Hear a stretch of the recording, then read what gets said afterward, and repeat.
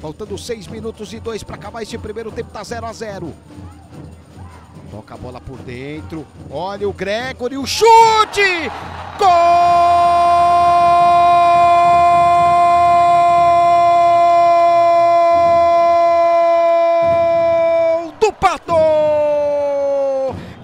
Gregory honra a camisa número 12, dominou na ala esquerda, falou: Eu vou chutar daqui mesmo. A bola ainda tocou na trave foi pro fundo da rede. Abre o placar o Pato.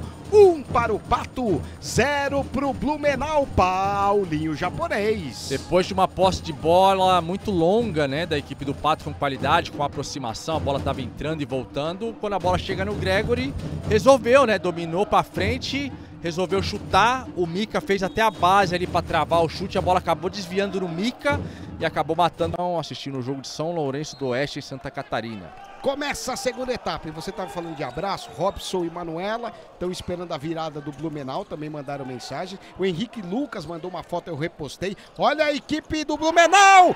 Gol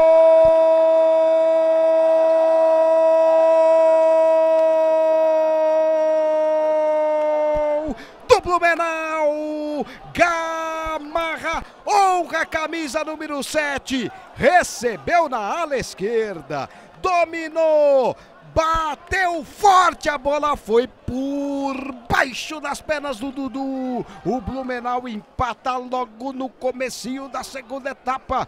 Um pro Pato, um para o Blumenau, Paulinho japonês. Tudo que a equipe do Blumenau queria, né? Primeiro, o primeiro ataque com a cobertura do Kel, a bola chegou ali no pé do Mika, né? O Mika segura bem, joga a bola no tempo futuro pro Mika já chegar dominando para frente. Aí esse bico seco do Aí o Cabreúva lá, ele faz um sinal. Vamos ver o que, que ele vai fazer. O toque, o chute! Gol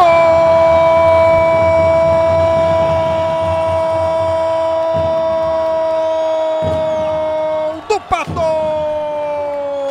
Samuca honra a camisa número 6. Ele vai pra galera. Ele vibra bastante. Mostra a raça do time da casa. Olha de novo. Foi inteligente o Cabreúva. Tocou pro Samuca. Ele tava livre. Mandou pro fundo da rede.